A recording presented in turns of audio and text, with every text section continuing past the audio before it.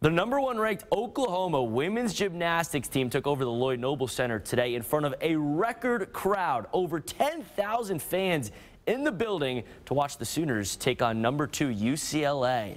Rematch of last year's NCAA title, which the Sooners lost by the closest margin ever. Look at former Olympic gold medalist Kyla Ross putting up big numbers for the Bruins. She scored perfect tens on the uneven bars and then here on the vault as well. Oklahoma's Maggie Nichols battling back. Incredible on the balance beam. Scored a 9.975. That was tops on the beam on the day. Teams go to the final rotation tied. The Sooners freshman Olivia Trautman here anchoring the floor routine with a 9.95 score, helping OU take the meet by two-tenths of a point. Afterwards, head coach KJ Kindler on the record fan turnout. This program, three-time national champions, and a lot of people are missing out on this amazing product. So I'm just so proud. I hope they'll all come back and continue to support our team.